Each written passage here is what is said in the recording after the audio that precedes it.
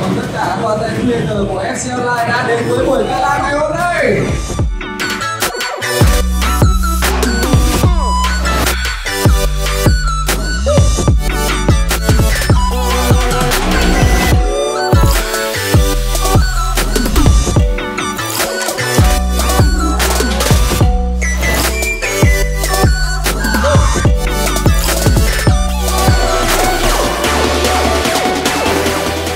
Và đêm gala của chúng ta xin phép được bắt đầu.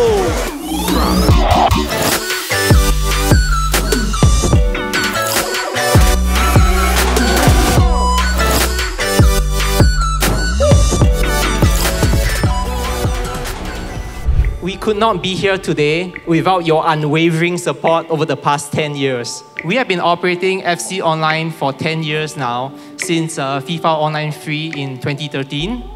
And I have seen over these 10 years the passion that Vietnamese people have for football. We want to thank you again for being with us today as we em- embrace our new identity as FC Online and for being members of our Founders Club.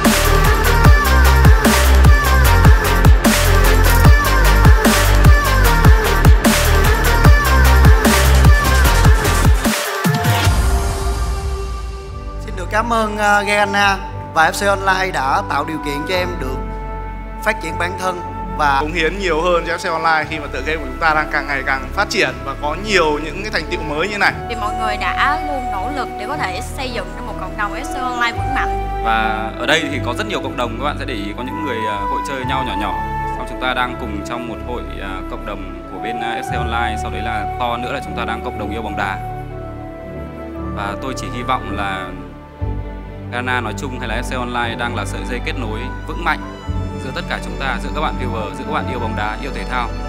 Với con game FC Online tuyệt vời nha. Cảm ơn các bạn rất nhiều. Chúng ta sẽ cùng nhau tạo nên một cộng đồng mà càng ngày càng vững mạnh và FC Online sẽ mãi mãi chung cộng nha.